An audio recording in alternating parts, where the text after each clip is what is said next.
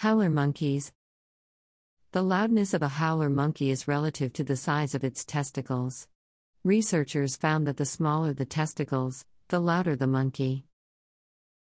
A howler monkey weighs little more than a pug but can roar as loud as a tiger.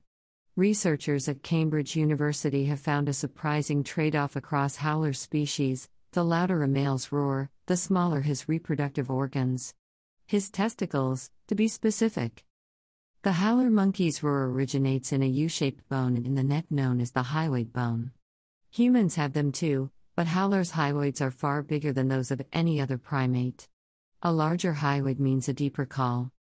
A team of scientists from Utah, Cambridge and Vienna universities analyzed physical data from howler monkeys across different species and found an inverse relationship in size between the hyoid and the testes.